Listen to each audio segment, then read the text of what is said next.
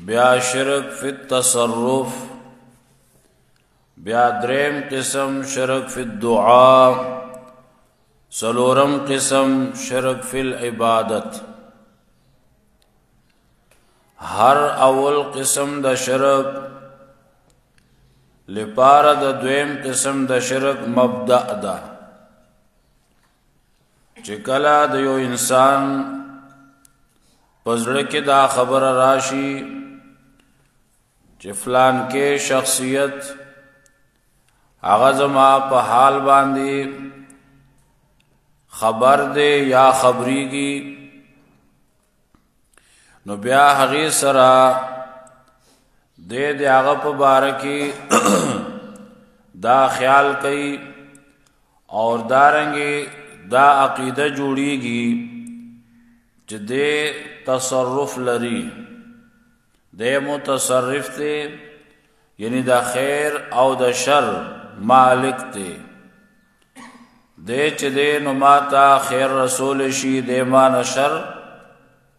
لری کول شي نو چې کله دی حد ته ورسی نو بیا د پرړه کې دا خبره پیدا شي دا عقیده پیدا شي بیا را بلی حاجتونه تر نه غواړي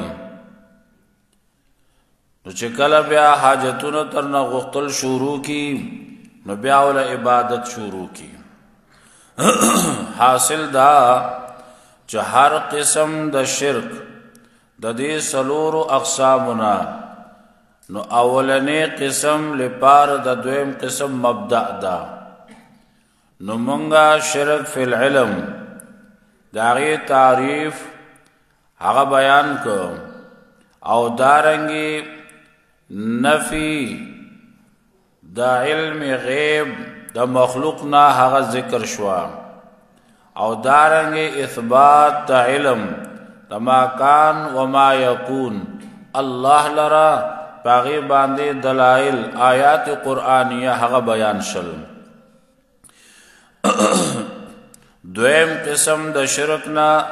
هغه شرک فی التصرف دی او شرک فی التصرف ستوي کله چې دا عقیده پیدا شي د یو مخلوق په باره کې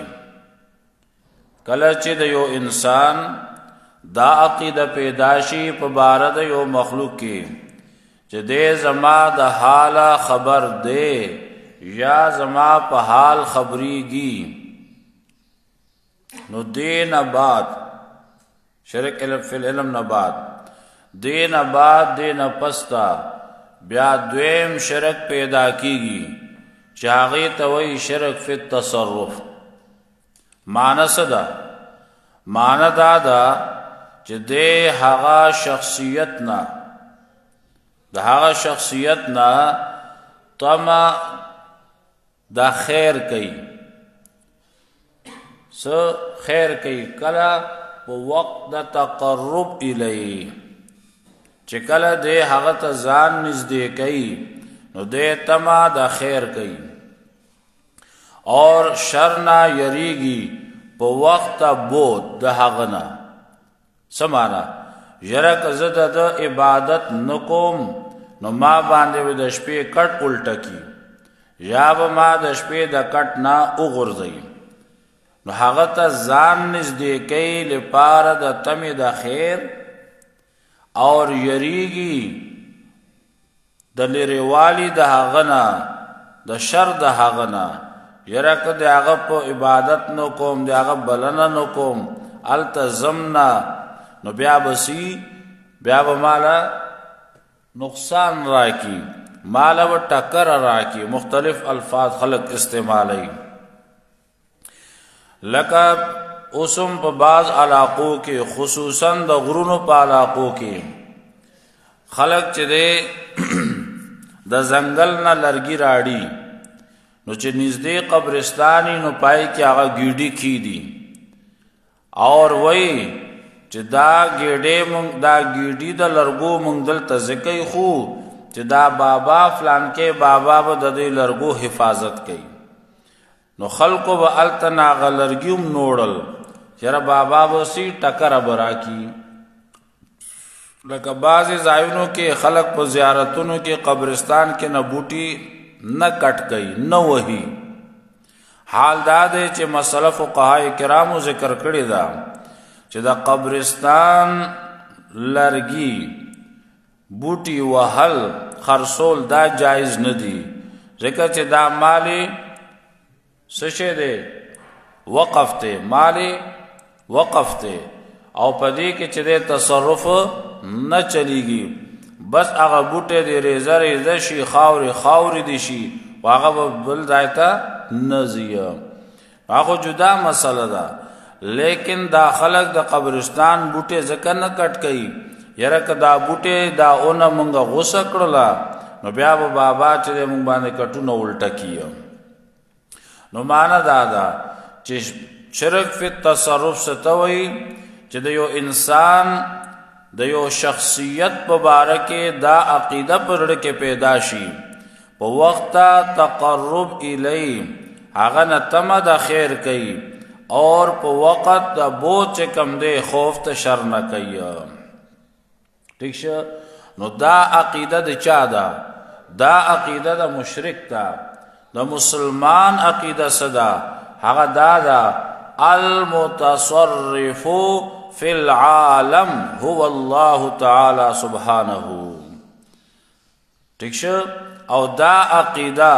د قران عظیم په ګڼ آیاتو کې آیات کثیرو کې دا خبره موجود ده چې المتصرف هو العالم المتصرف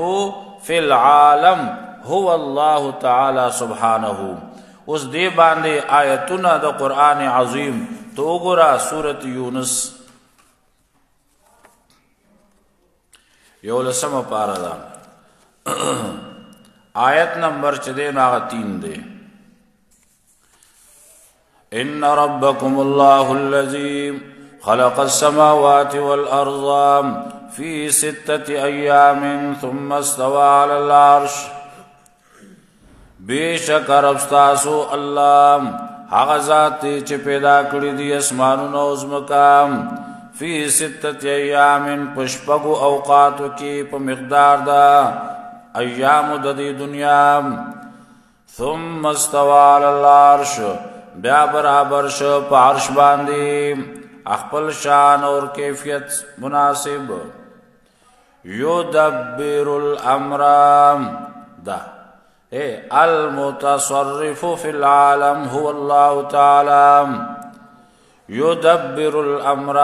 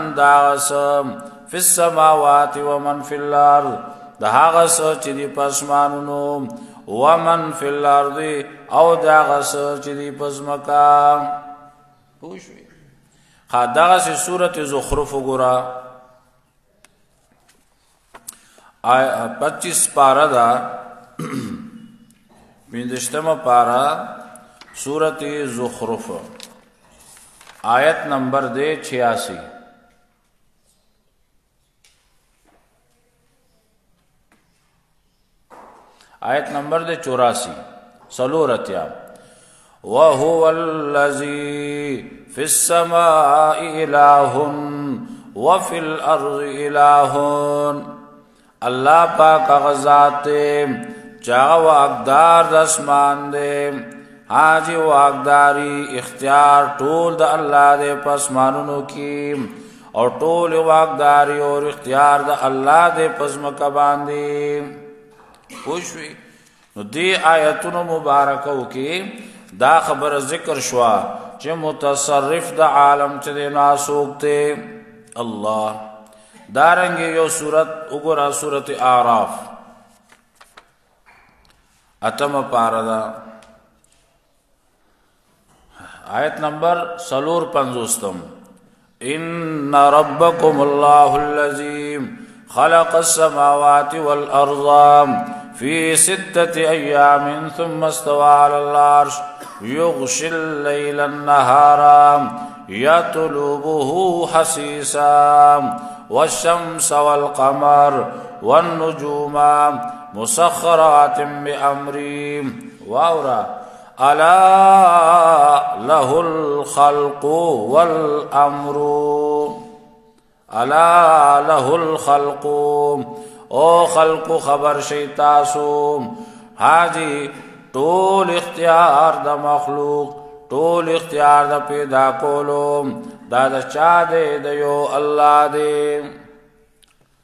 متصرف په عالم کې څوک دی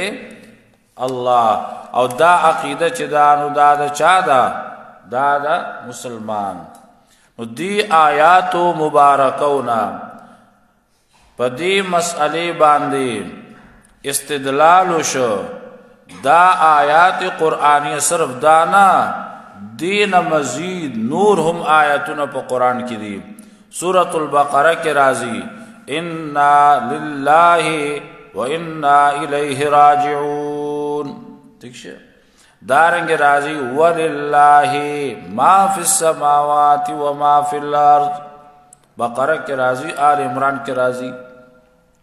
او موږ اختصار سره ذکر کوو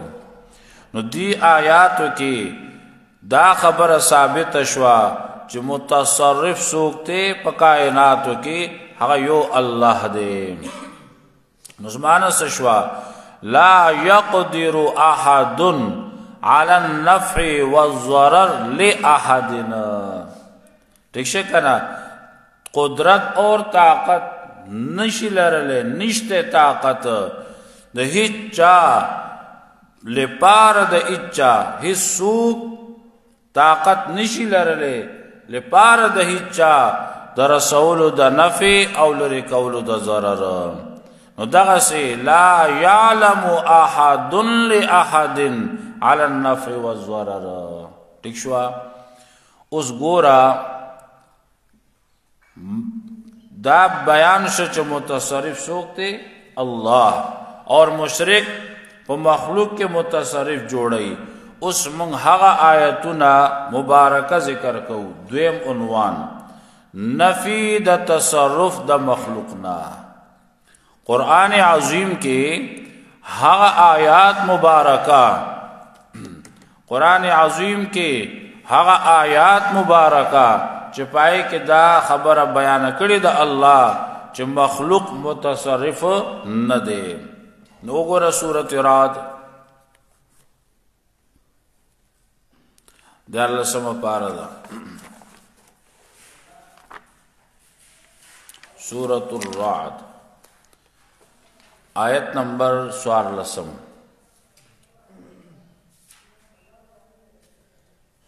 شپاړسم دی ها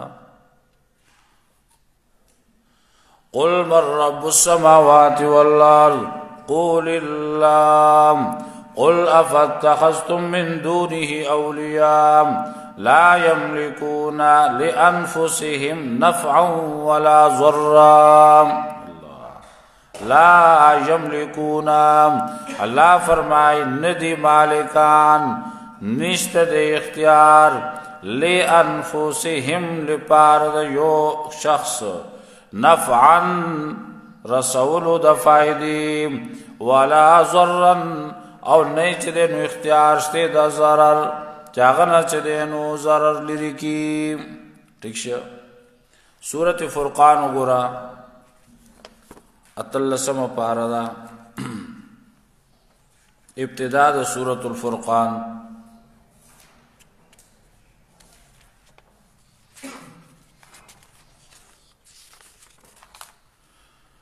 آیت نمبر تین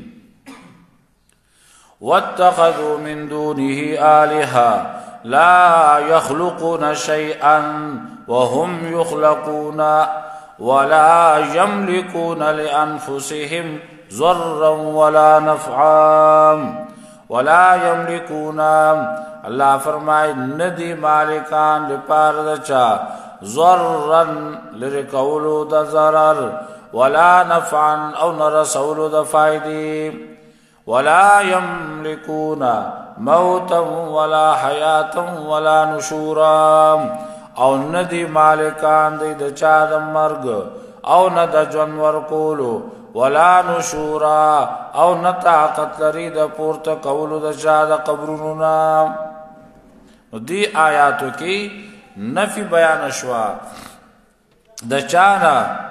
مخلوق نه چې مخلوق متصرف نه دی ٹھیک شو دارنګ صورت اعراف وګورئ نه هم پارا ده 188 نمبر آیت ته قل لا املك لنفسي نفعا ولا ضرا الا ما شاء الله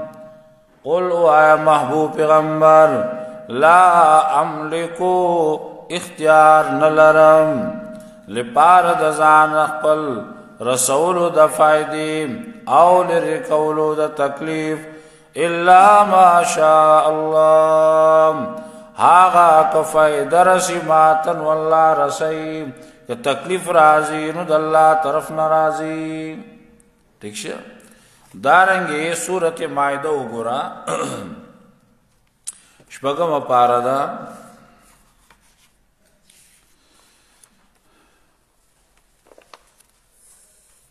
شپږم پارا سورته مائده آیت نمبر دی 41 آیت وګد دی میز کې ګورا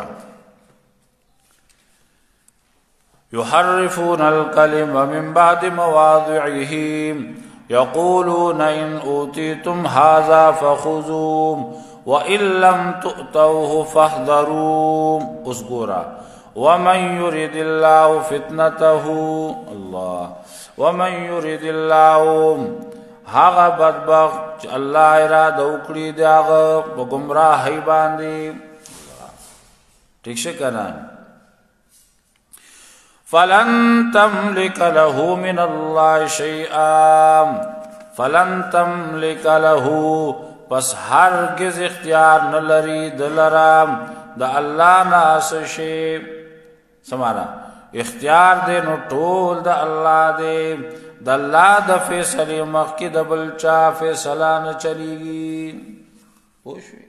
خجی اوس یو آیت د سورته بن اسرائیل وګوره پندلسمه پارا ده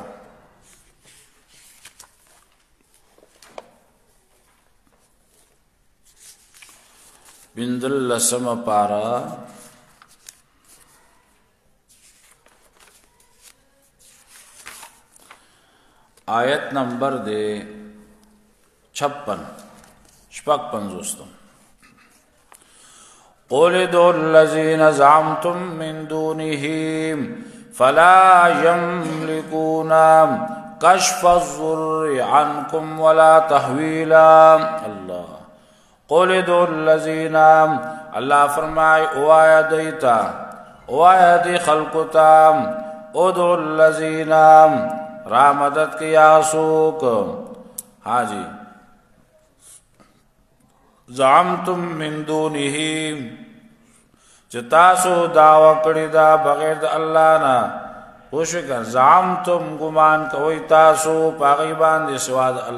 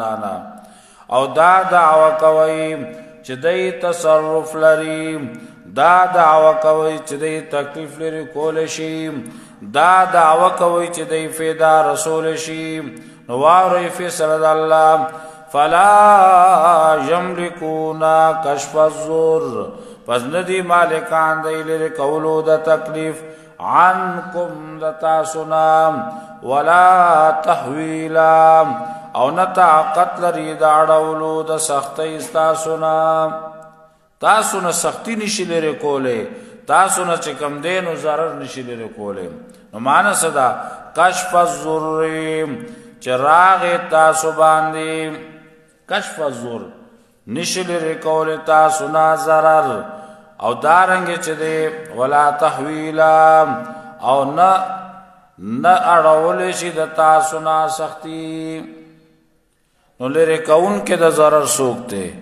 الله zarar سوک لری کون کې ده نفع سوک رسون کې ده الله نو دی آیاتو کې نفی د تصرف د مخلوق نه چې د هغه بیان شوه ٹھیک شو جی بس په دې آیات باندې اکتفا کو دوی سوشل اقسام د شرک نه سلورنا شرک فی العلم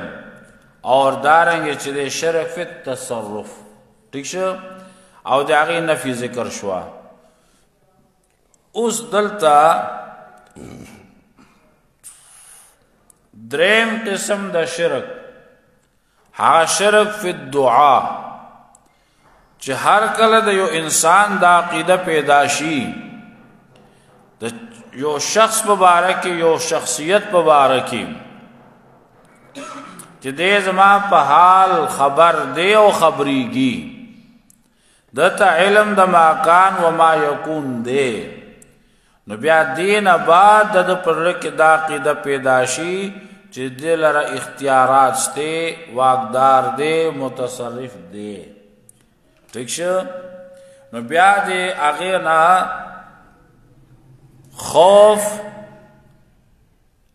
او دارنګ چې دی یرا هغه پزړه کې پیدا کیږي په نه کولو د عبادت تیاغه او په کولو د عبادت د تمه د فیدت ساتي نو هغه آیات ذکر شل چې د نفع او د ضرر مالک سوکته یو الله اوس دلته مونږ هغه آیات ذکر کوو چې پای کې ترغیب د دعا من الله دی نو وا ربط پاتې شو نو چې کله دا عقیده پیدا شي چې متصرف دی نو بیا ورنه حاجتونه غواړي بیا څه کوي حاجتونه غواړي نو اوس مونږ هغه آیات ذکر کوو چې پای کې حکم دی پای کې ترغیب دی د دې خبرې چې دعاګانې به غواړي نو د چانه د یو الله نه بیا دویم قسم هغه آیات مونږ ذکر کوو قران عظیم نه چې قران کې الله وایي چې حاجتم د یو الله نه بغواړي د بل چا نه بنغواړي حاجتونه بچانه غواړي الله نه دعا به د چانه غواړي د یو الله نه نو موږ بدلته کې بیا دو قسمه عنوانات ذکر کوم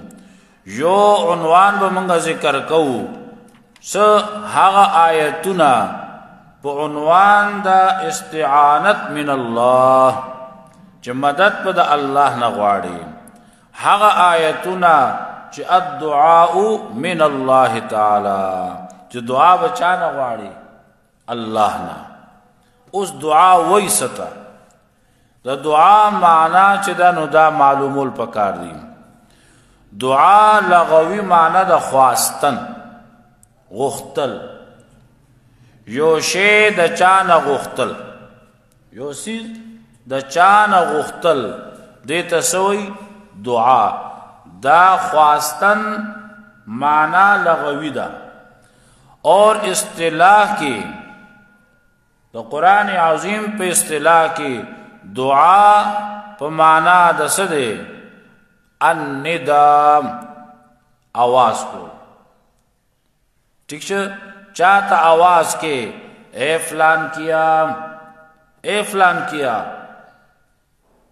نو دا څه شی شو دا دعا ده اوس دی باندې آیت ته سوره البقره د دویمه پاره وګوره ته دویمه پاره سوره البقره ومثل الذين كفروا 171 نمبر آیت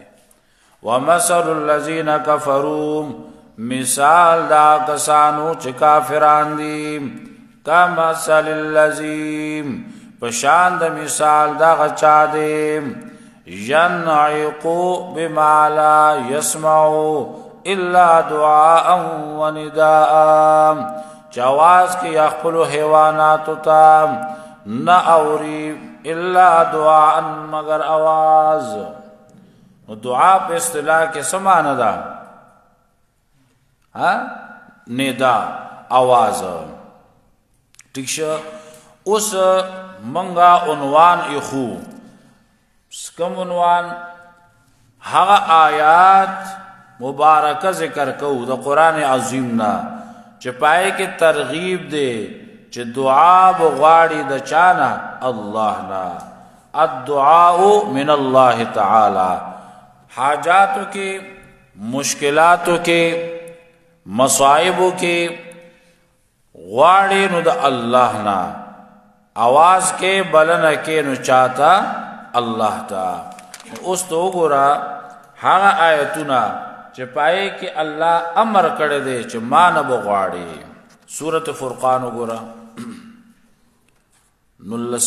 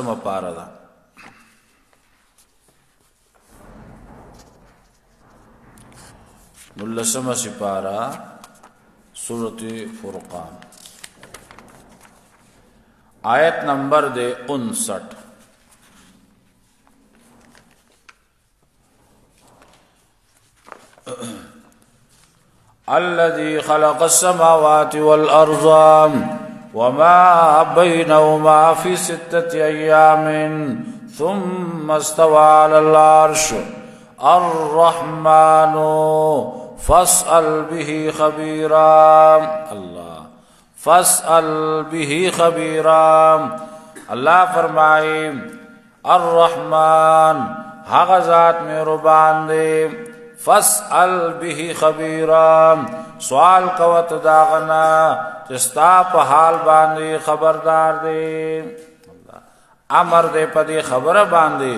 دعا غواړي نو من الله تعالی چا نه غواړي الله مې ربان نو بچ دې نو دعا غانې غواړي خجی وګورا سورته اعراف اتم پار وګورا چلته چې سورۃ الاعراف خلاصيږي ایت قریبا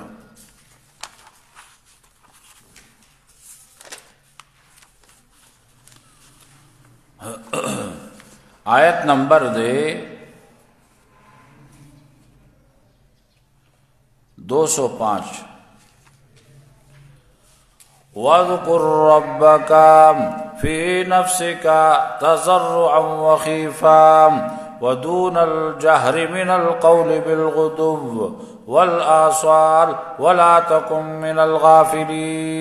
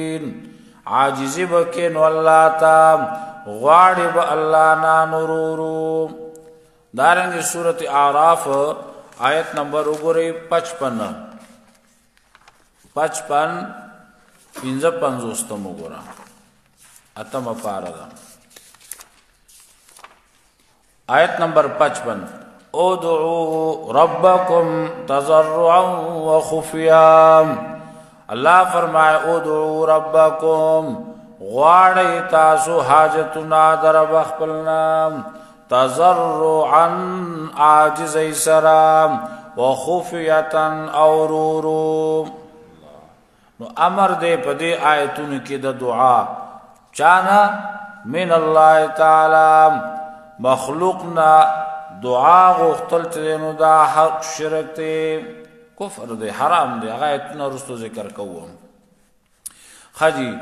نو دارنګ ادعو ربکم دعاګانې بغواړي د چانا الله نا بل آیت وګرا سبحان الله دقه سوره اعراف ته اتم پارا دا دا نهم پارا دا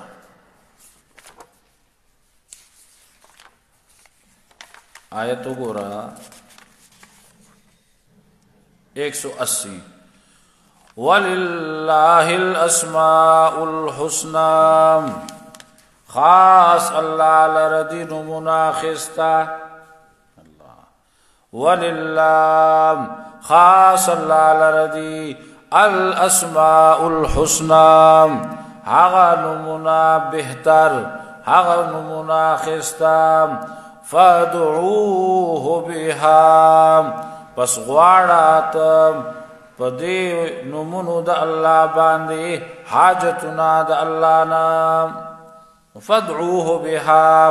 نو دعاګانې بغواړي د چانا یو الله نه بغواړي حاجی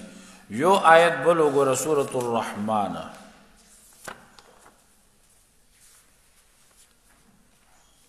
ستائیس پارا دا سورة الرحمن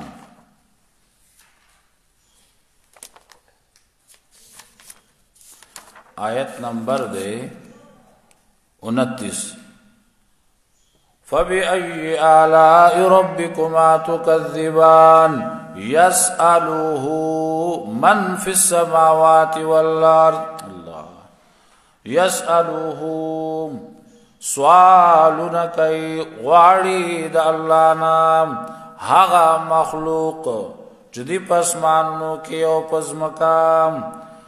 اے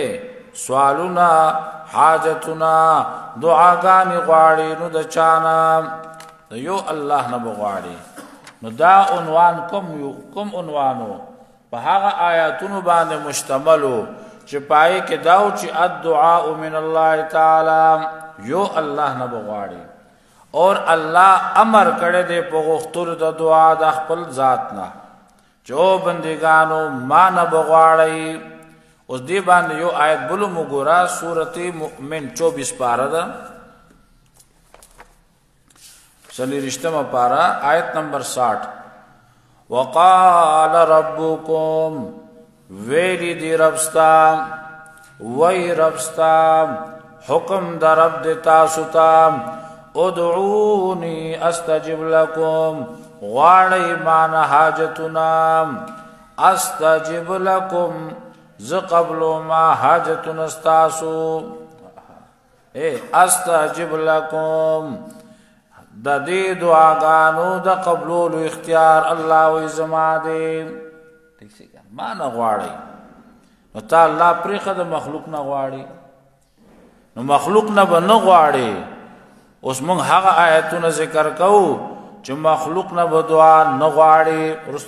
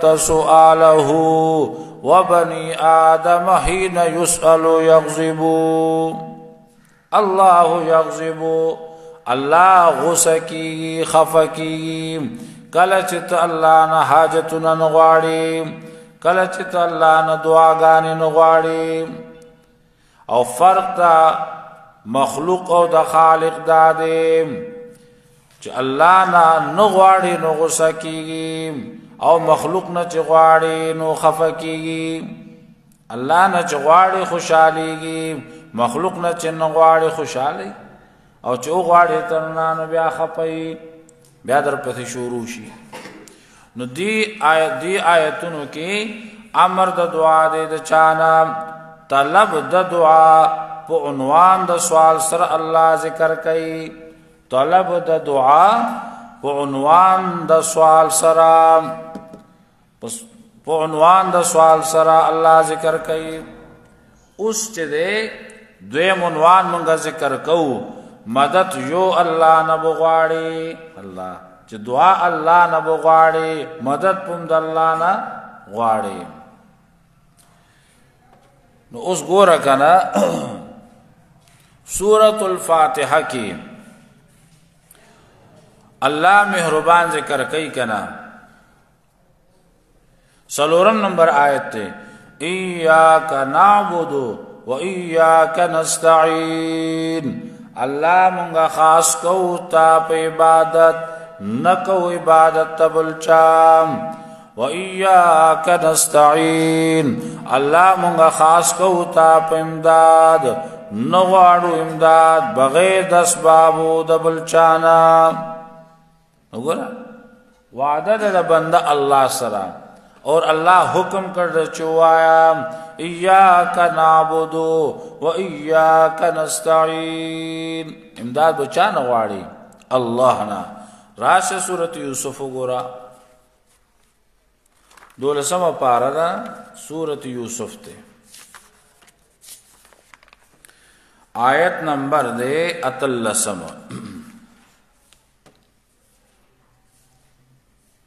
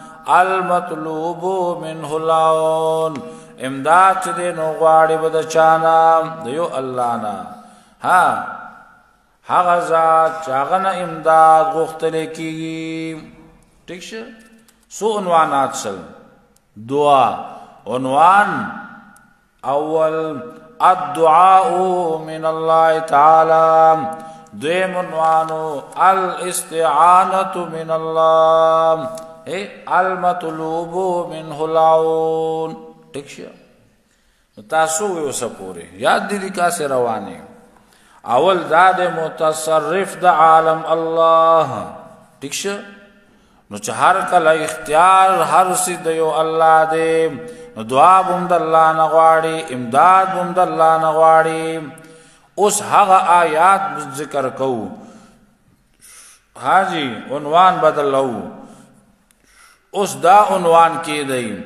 ها آیات قرآنیه چې پای کې نفي د دعا د مخلوق نه ذکر ده اوس تا کوم آیتونه وی چې پای کې امر او حکم د الله دی چې دعاګانې به ما نه غواړي الله وایي اوس هغه آیات قران وګوره هغه آیتونه چاغي کې الله من ذکر کړی دا چې مخلوق نه به دعاګانې نه غواړي د یو الله نه دعا غوښتل پکار دي د مخلوق نه دعا غوښتل نه دي پکار بلاد اسباب هر چې د بس بابو دلاندې نه خو خیر ده کنه اسمانه ګوره ژوندې ژوندې ته ویل شي چې مال دعا وکا ولی هغه ژوندې تا ګوري ستا आवाज اوري جب اور سرشته تعالی دعا غوښتل شي اوس یو سړی او یو شخص دی یو شی دی اوري نه ګوري نه خبرې نشي کولای حاجی نو هغه هغه نه دعا غوښتل دا شرک دی دغه اسباب شته دی نه بیا دې کې تفصیل دغه اختصار کوو چې دعا ادنا د اعلانم غوښتې شي او اعلی د ادنانم غوښتې شي ویل شي درخواست دعا کول شي لکه حدیث مبارک ته حضرت عمر رضی الله تعالی عنہ چراغه نبی علیہ الصلوۃ والسلام ته فرمایل چې د الله پیغمبر مال اجازه راکا زه عمرې ته زما زه عمرې ته زم نبی اسلام فرمایل چې لاړ شه لا یا اخی اے زمارور ګوټیا لا تنسفی دعای کا ما ګره په خپل دعاګانو کې هیر نه کې نبی علیہ الصلوۃ والسلام د الله پیغمبر دی او عمر چې کم دی هغه صحابي د پیغمبر دی نو نبی علیہ الصلوۃ والسلام عمر ته درخواست دعا کړو ټیک شکنا او دارنګ کشر مشر تم درخواست دعا کول شي خیر اوس هغه آیتونه وګوره چې پاغي کې دا ذکر دی چې الله منع کړی دی بنده خپل د دینا چې تو مخلوق نه دعا نه غواړي نو ګور آیت ته سورته انعام چې دا د رب ډیر لوی د انعام چې په دې کې مسأله ذکر د توحید د رب العالمین او مفاردا سورۃ الانعام دی اور آیت نمبر 71 دی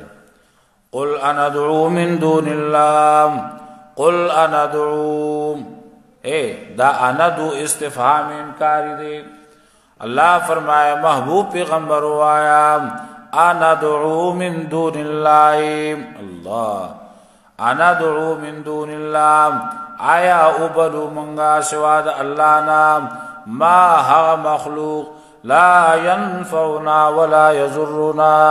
چې موږ له فایده نشي را کولې او نه چې دې موږ نه ضرر لري کولې شي الله ٹھیک شي جی سبحان الله وای کړه سورۃ یونس وګورا یو لسمه پارا چې خلاصيږي آخري صفه ده سورۃ یونس ده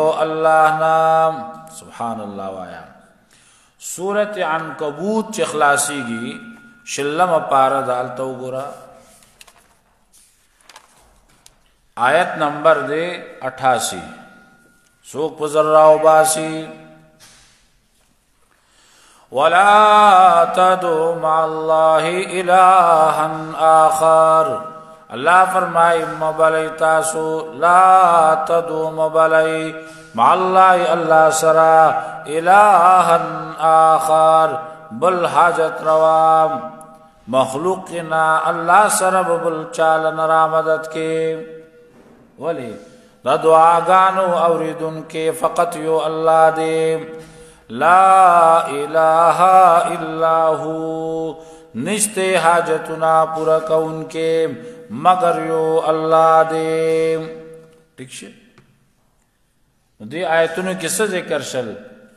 نفی د دعا د مخلوق نام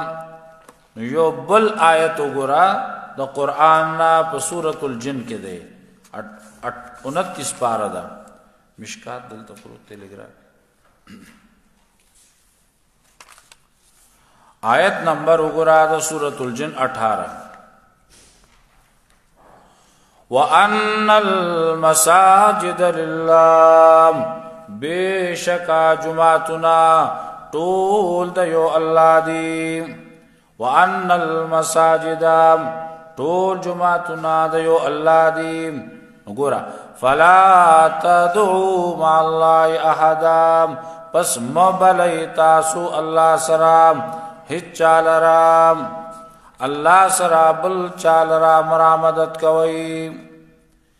نو دا کوم آیتونه هغه آیات مبارکه دي چې په دې کې نفي دا نفي ذکر وا د سنا د مخلوقنا چې مخلوق نه به دعاګانې نه غواړي اوس یو حدیث مبارک ته مشکا شریف جلد ثانی کې الله سبحان الله وایي کنه ګوره دلته کې حدیث مبارک ته نبی پاک صلی الله تعالی علیه وسلم صحابي دي حضرت عباس حضرت ابن عباس رضی الله تعالی عنہما ګوره نبی علیہ الصلوۃ والسلام چې دي حضرت ابن عباس ته فرمایي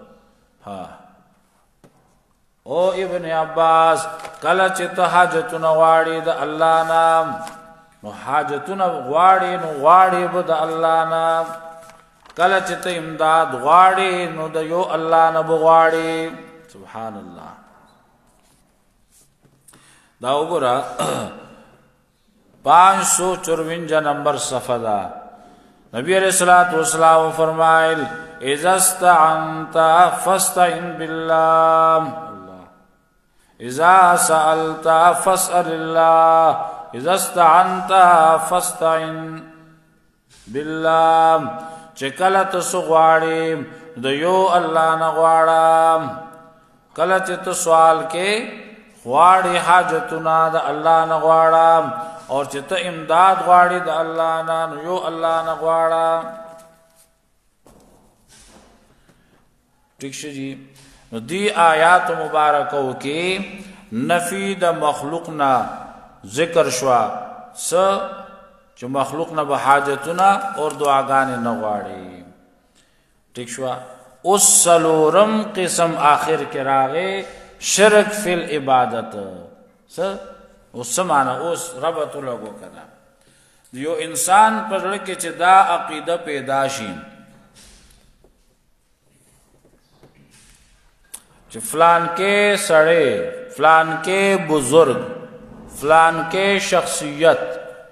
نو مخکې خو علماء وی کنه فلان کې بزرگ اوس په کې بزرگ هم راغلي دي کنه اوس خلک کوئی فلان کې ځای کې خزه چې دی نو هغه پټ خبرونه خیو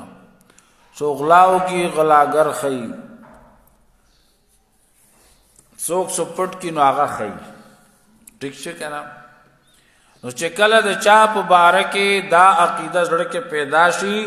چې فلان کې په پټو خبرو په پټو کارونو خبر دی خبريږي خبردار دی نو بیا سکی و یاو کنا اختیارات دی ور سره کنا څه دي اختیارات دي ورڅخه کنه نو دا ستا خبره ده چې هغه په پټو خبرو پويږي د الله حکم دا دی لا یعلم من فی السماوات توای چې هغه اغلا اختیار دی الله فیصله ده له الخلق والامر تبارک الله رب العالمین نو چې بیا کله دا عقیده جوړ شي نو بیا وتوي زما ستا مخ کې استاد الله مخ کې زما ستا مخ کې استاد الله مخ کې نو بیا چې کله دعاګانې شروع کی نو بیا چې دینو یریږي عبادت شروع کی یره کې عبادت نکوما نو بیا به مال ټکرې را کوي او کې عبادت کوما مال به فایده در کوي ټیک شه نو هر کله چې د یو سړي د عقیده جوړ شي نو بیا څه کوي د مخلوق عبادت کوي نو اوس منګه هغه آیات قرآنیه ذکر کوو چې پای کې الله امر کړی دی حکم کړی دی په عبادت خپل باندې چې تاسو به زما عبادت کوئ ما نه بغیر د بل چا عبادت په نه کوئ نو چونکه اول آیت مونږ په دې مسئله ذکر کوو نو د اولی سپاری نه به ذکر کو سورۃ البقره نه عنوان ورلکی دا سو په عبادت د الله حکم د الله د الله په عبادت حکم د الله چې الله حکم کړی دی په دې خبره چې تاسو به زما عبادت کوئ آیت نمبر 21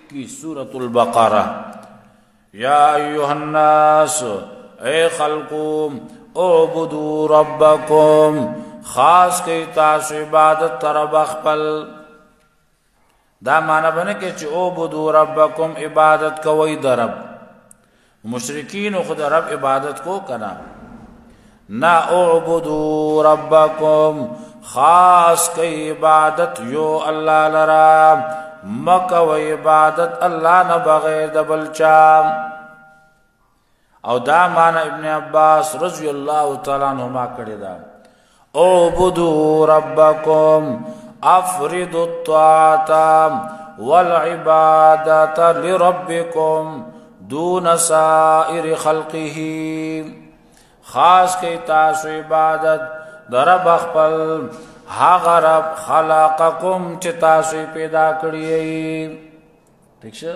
نو اوس مونږ چې کوم مسئلې د پاره کوم عنوان د پاره آیت تایید کې پیش کوو نو هغه نه هغه الفاظ اخلو اعبدوا ربکم حکم د الله دی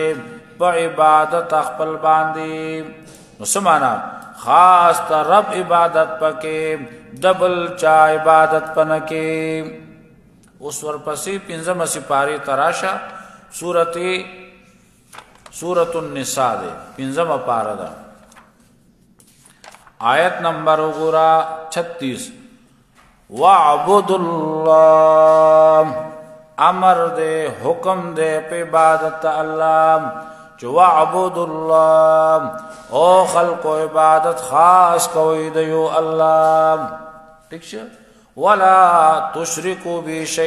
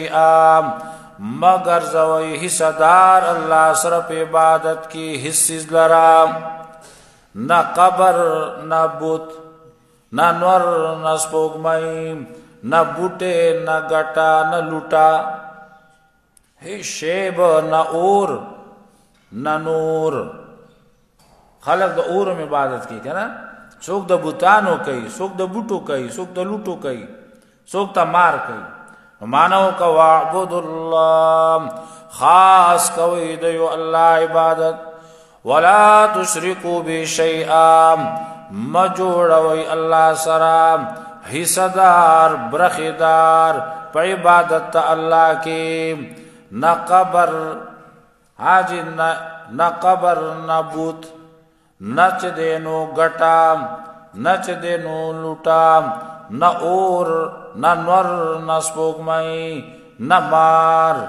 ٹھیک شي کنه ځکه باز خلک د مار عبادت کوي ولی وې د دا خپې نشته د ګرځي څنګه الله یې ګرځي کنه د هغه ذات عبادت کا چې داسې تخلیق کړي دي او سورته نور نه خبر کنه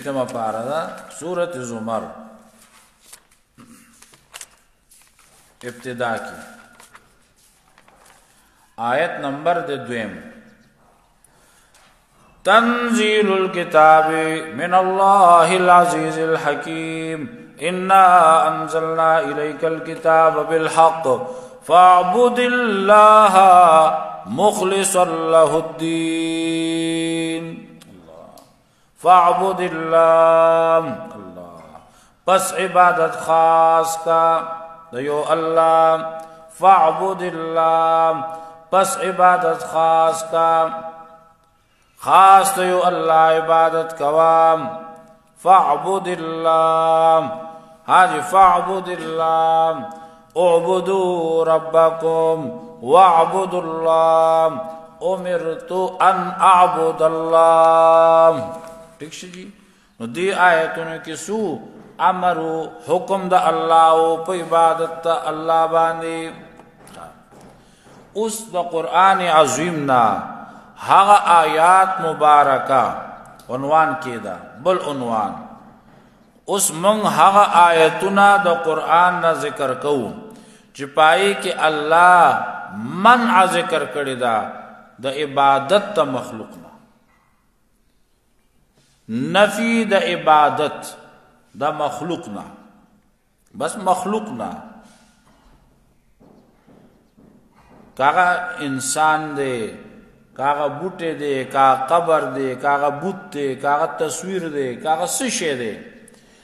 د مخلوق د عبادت نه منع ده چې د الله نه بغیر د چا عبادت په نه کوي او په دقه مسلې الله ټول انبیاء علیه الصلاۃ والسلام را لګلیو د نوح علیه السلام نو واخلا تر محمد مصطفی صلی الله علیه وسلم پورې نو ګره سورته هود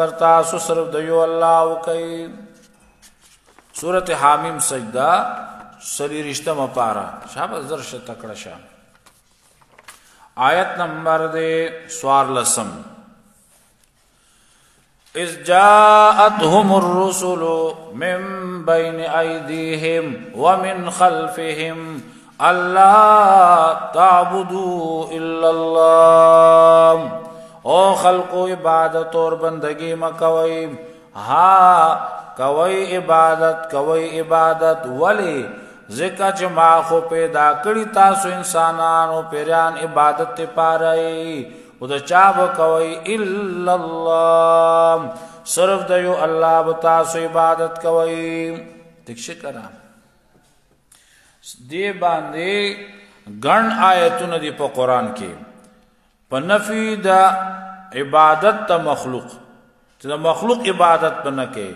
نو ګورا سورته اعراف کې نوح علی السلام واقعا هود علی السلام واقعا صالح علی السلام واقعا د شعیب علی السلام واقعا پدې کې راضی س یا قوم عبد الله مالکم من اله غیره مالکم من اله غیره ٹھیک شه خا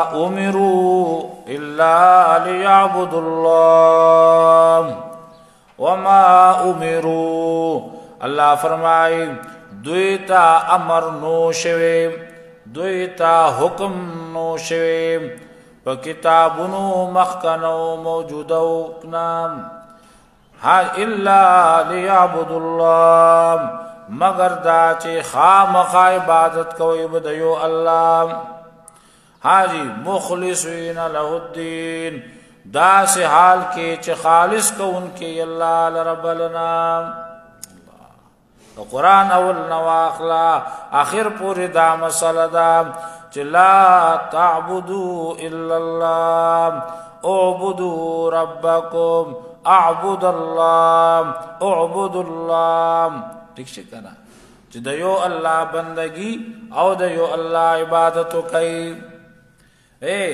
دا داسې مسئله ده چې په چوکونو بیان شوی دا په غرونو بیان شوی دا په صحراو کې بیان شوی دا په مجمع کې بیان شوی دا قومونو ته بیان شوی دا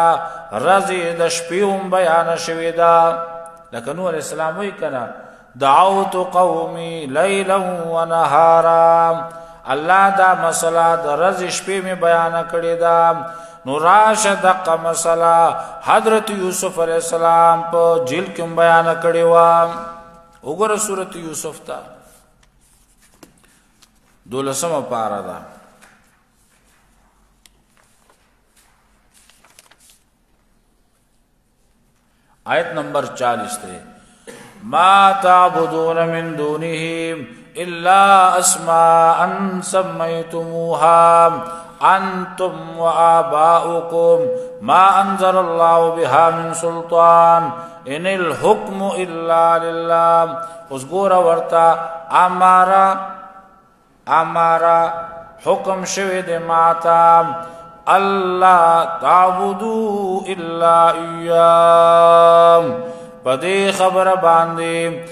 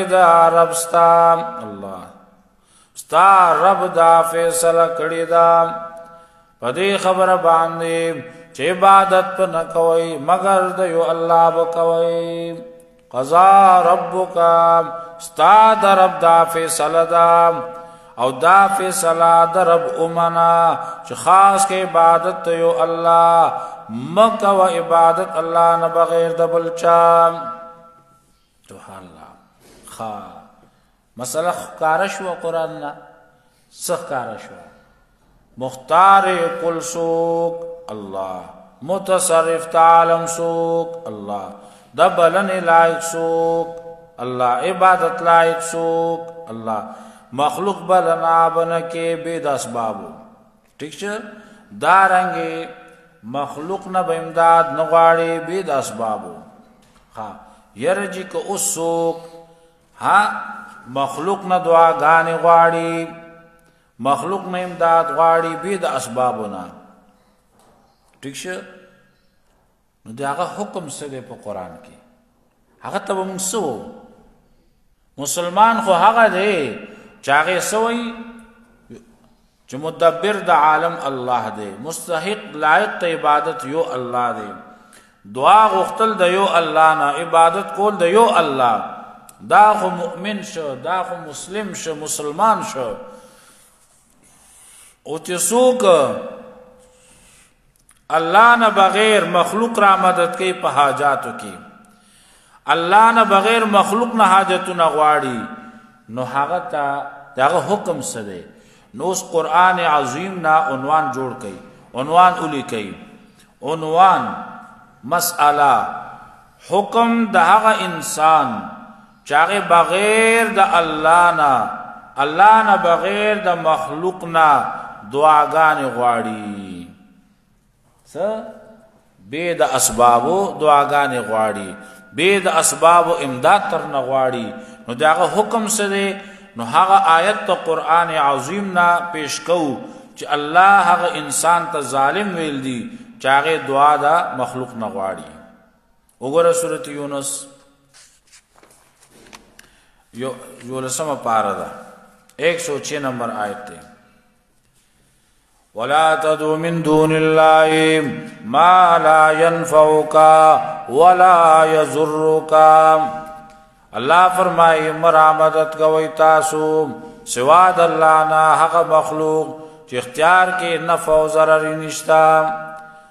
فإن فعلت فإنك إذا من الظالمين فإن فعلت کچرتا دا کارو کوم اے مخاطب غیر معین الله دا شیخ والد محترم نقطه وا اے مخاطب غیر معین ځکه چې د دې فعل صدور خود پیغمبر نه ممکن نه دی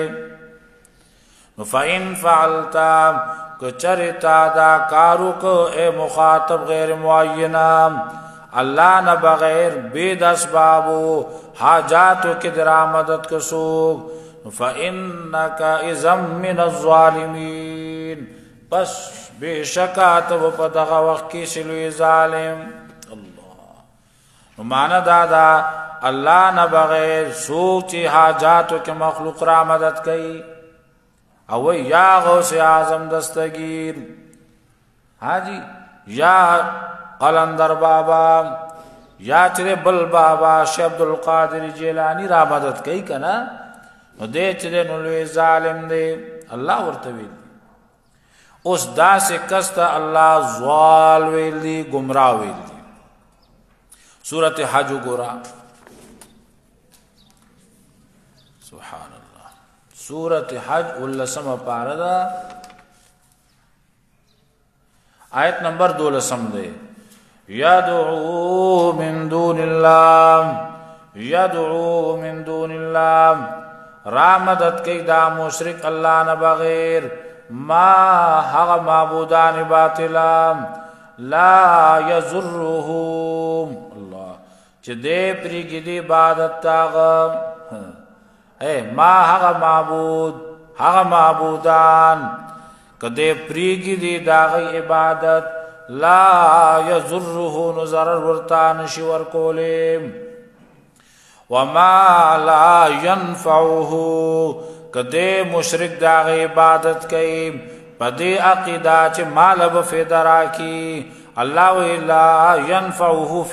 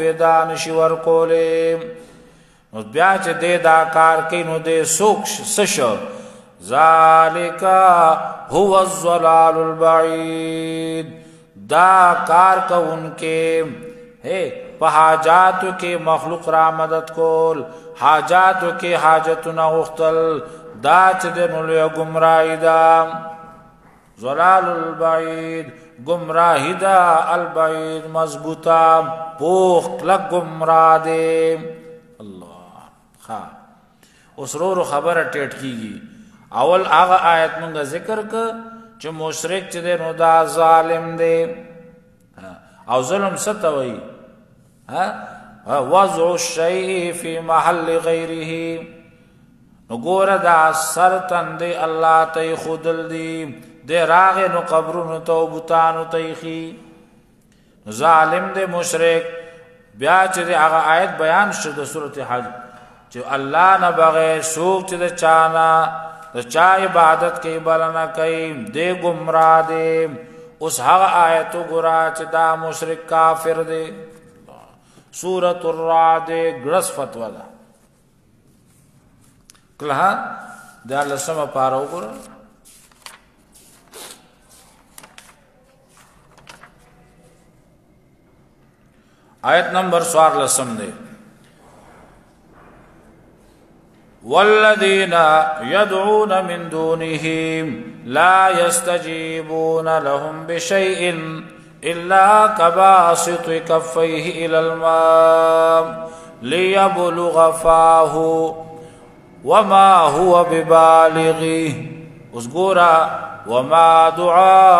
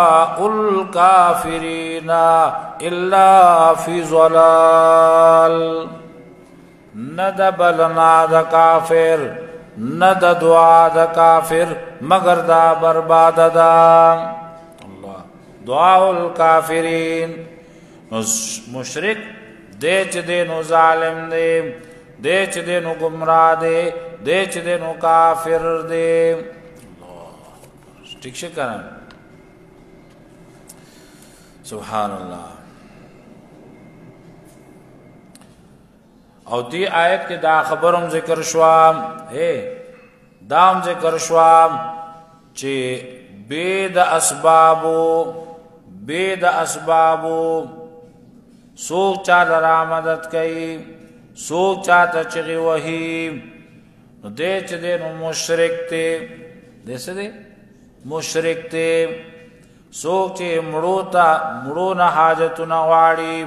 مړو ته فریادونه کوي د مشرک ته وګوره سورته فاطر دویشتمه پارا ده آیت نمبر وګوره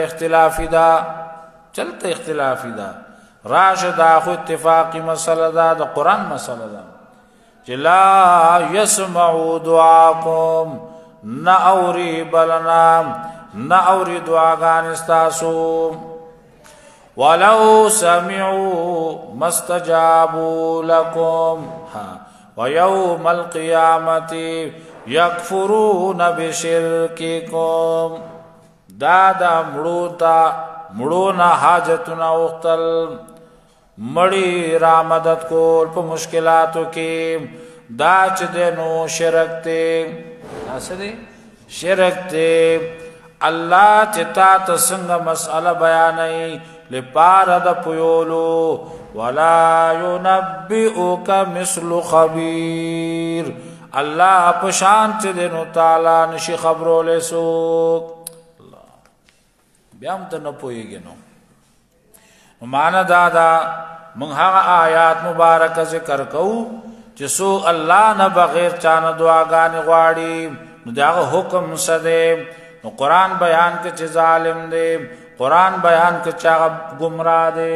قران بیان کې چا کافر دی قران دا بیان کې چا مشرک دی اوس راشه هغه آیت مبارک ګورو چې الله داسم کستا مرتد ویل دي الله واړو سورته انعام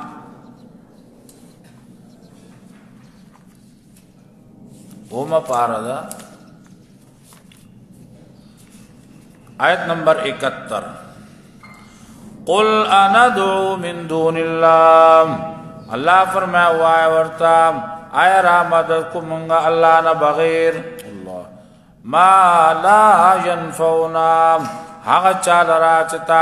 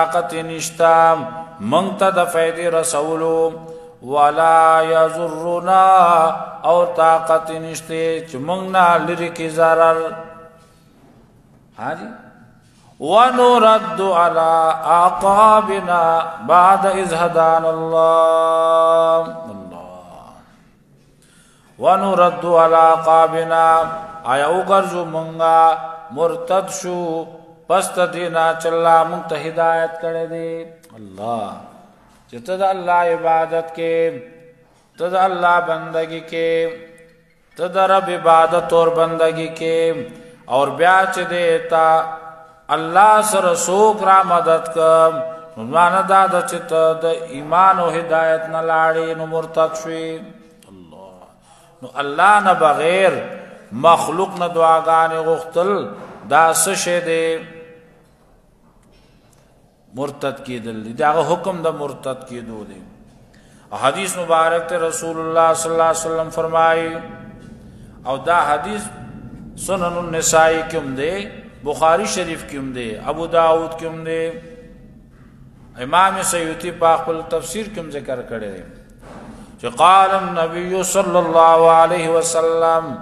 من بدل دينه فقتلوه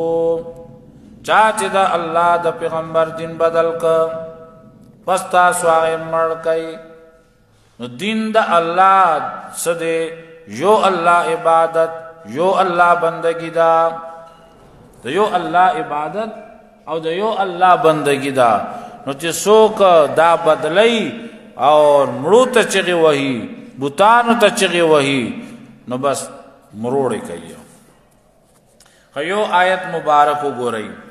چې الله نا سوا د مخلوق چې څوک عبادت کوي الله نا سوا چې څوک مخلوق په حاجاتو کې را مدد کوي بغیر د اسبابونه نو د هغه د پاره عذاب دوزخ دی هغه د پاره عذاب الیم دی نو آیت وګورئ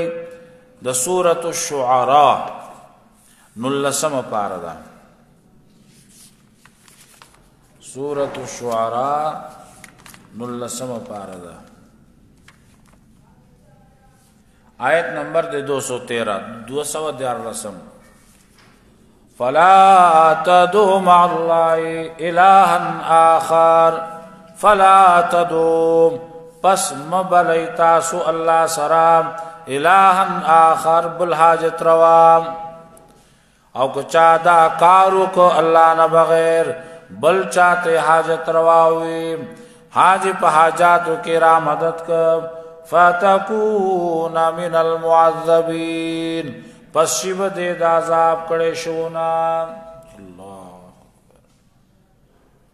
هاي دا خوشاليږي چې ځا خپل بزرگ سره یا بت سره یا خپل معبود باطل سره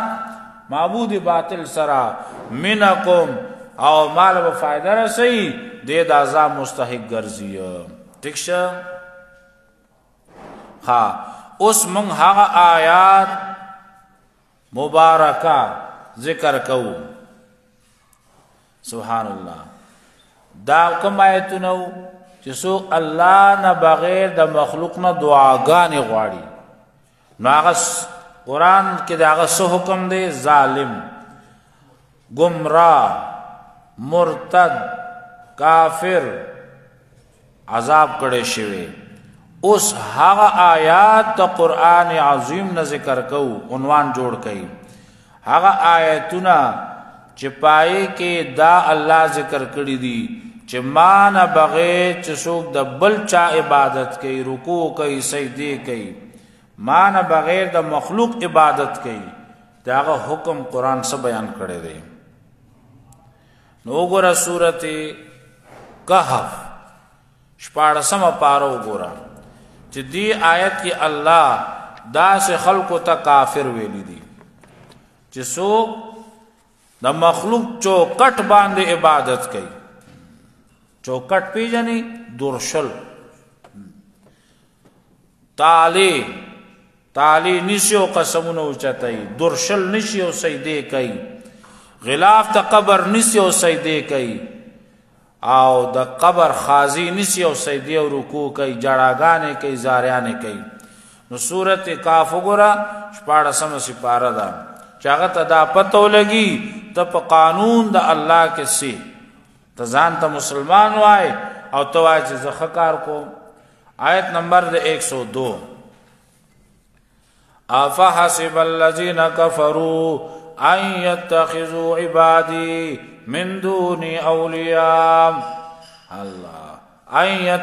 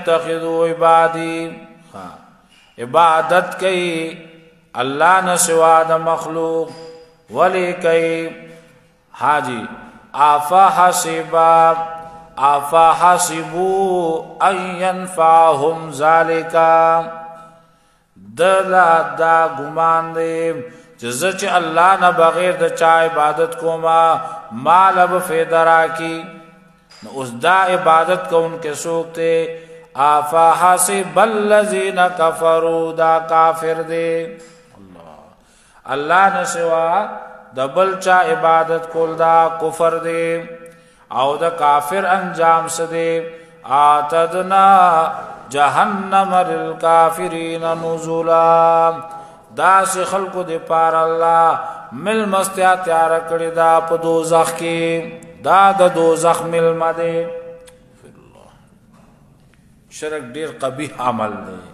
نو ټیک شه الله نه سوا د بل چا عبادت دا کفر دی اوس هغه آیت ته قران عظیم مون ذکر کو چې الله نه بغیر څوک چې د چا عبادت کوي دی جاهل دی دی نه پوهه دی لوی جاهل دی وګوره سورته زمر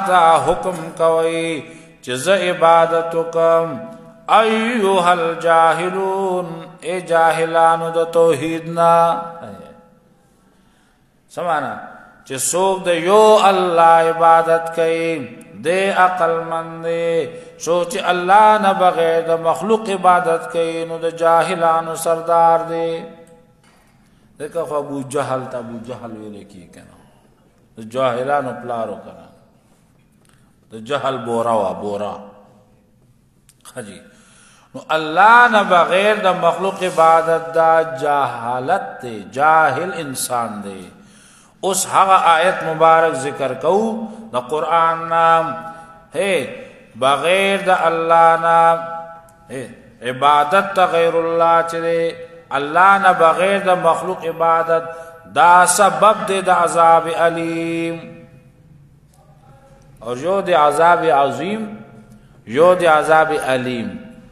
عذاب غټ عذاب دردناک په دې دواړو ممیاس کې فرق دی عظیم غټ عذاب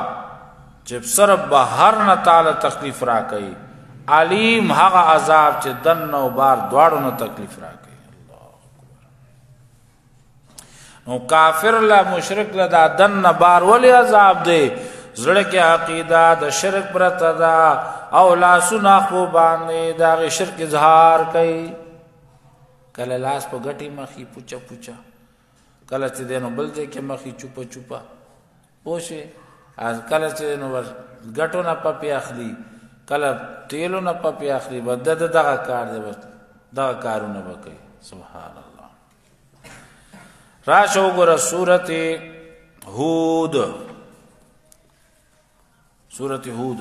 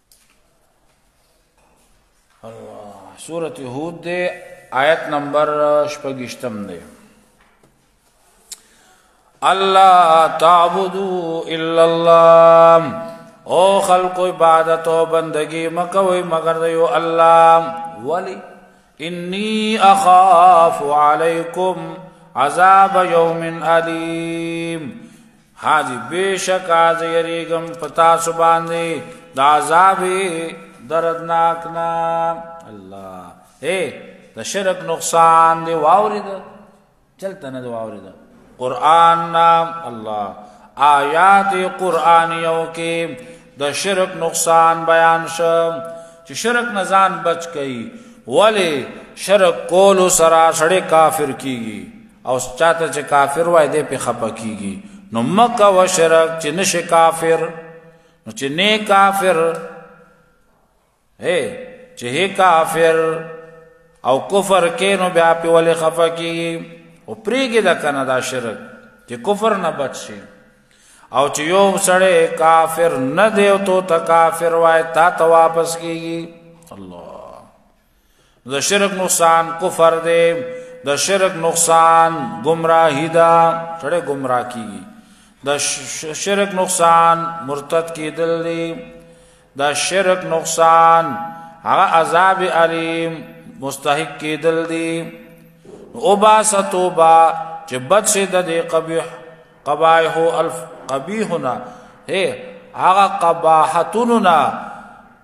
چې هغه کافر کوي هغه مشرک کوي هغه ظالم کوي هغه مرتد کوي ها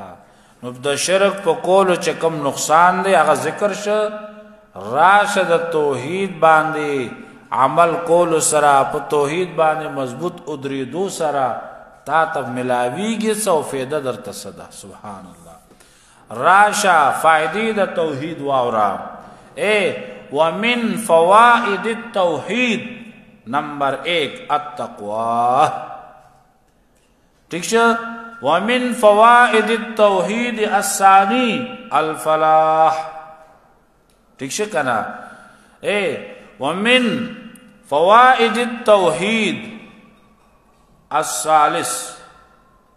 اسشه دی مغفرت الذنوب راشد الله توحید امنا متصرف د عالم الله امنا عبادت لایق فقط الله امنا دعاګان فقط الله نه غواړه حاجتونه یو الله نه غواړه نو تا ته بچ دې فائدہ ملاوي شي عبادت یو الله کوا راشه اول سپاره سورۃ البقره وګوره د توحید منلو فائدہ هغه دا ده چې تقوا ده تب متقی شي او تب پرهیزګار شي او چې وسړې وی شرک کوي آج یو حلیه مولې ډیره جوړه کړي ده دغه پوښه کنه حلیه مولیا ډیره جوړه کړی چې د متقی دی چې شرک بدعت پکې د متقی نه دی ځکه شرک په ګناهونو کې غټ ګناه دی پوښه کنه کبایر ګناهونو کې نه شرک غټ ګناه دی ځکه خو علامه ابن کثیر ویلی دی کنه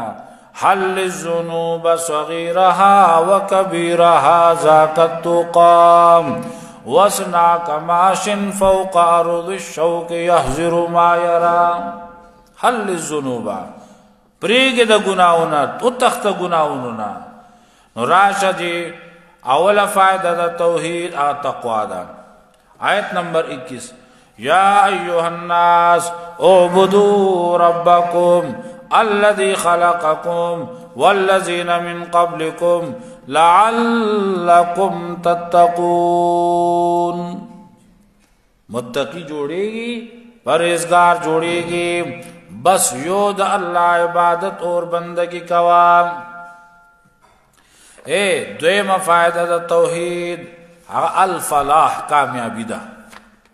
توحید الله د امن نو بس بیا چې دې تو کامیاب هو گیا بیا ته کامیابی او سورۃ الحج ولسمه پارا آخری سا 77 نمبر آیت دی یا ایها الذین آمنو اے ایمان والو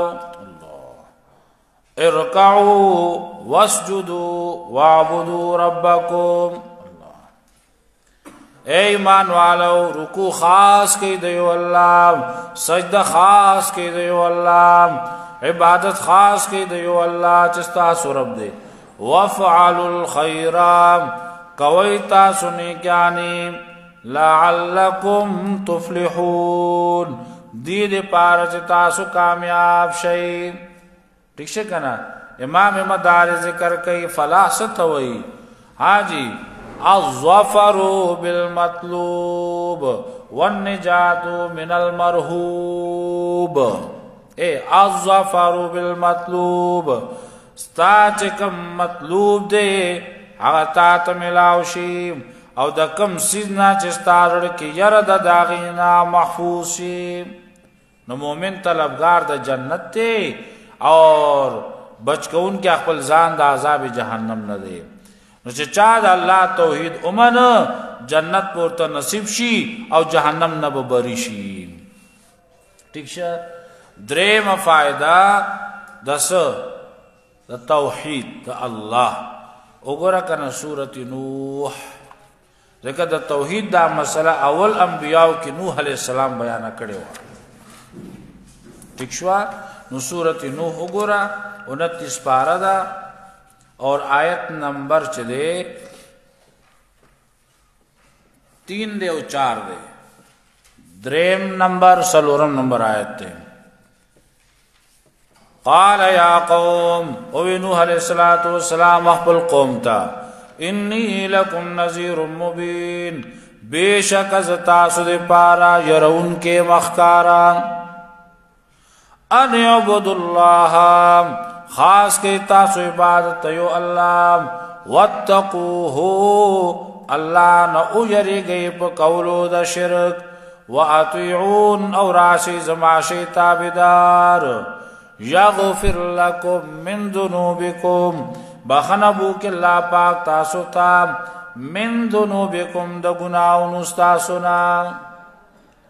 د توحید منلو سره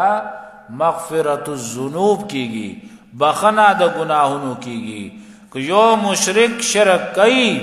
او په دې حالت ته شرک دې ډیر زاریانه کوي چې ما معاف کې الله ما معاف کې دا شرک یو داسې ګندګي ده دا چې د دې په وجود کې مغفرت د ګناهونو نه کیږي مغفرت د ګناونو ال کیږي چې انسان خپل ځان د شرک نه لره وګرځي ٹھیک شه شرک بریګي دي او دارنګ چې دینو د شرک نه توبه وباسي خدي نو مونږه جنن چکم درس وی داغي حاصل سو شرک په دوه قسمه وو شرک اعتقادي شرک فعلی بیا شرک اعتقادي تقسیم په سلور باندې شرک شرک شرک اعتقادي په سلور قسمونو باندې اول شرک فی العلم شرک فی التصرف شرک فی الدعاء شرک فی العباده نو دا سلور قسمه اشراق چې دا بیان شل او دارنګي داغي تفصیل وشو او په اخر کې سمرا د توحید د باری تعالی هغه بیان شو اوس ګورا دا چې کوم اقسام د شرک ذکر شل نو دا طریقه او دا اصطلاح چې وا دا د چاوا د اساتذه کرامو د شيوخو رحمهم الله وا دین علاوه چې دی علماو اقسام د شرک چې کم دی نو هغه نور هم بیان کړی دي لکه موږ هغه مختصر مخکې ذکر کړی وو ٹھیک شو جی اوس دویم قسم شرک چې دی هغه شرک فعلی دی نو ان شاء الله دا غي تفصیل سبا بیان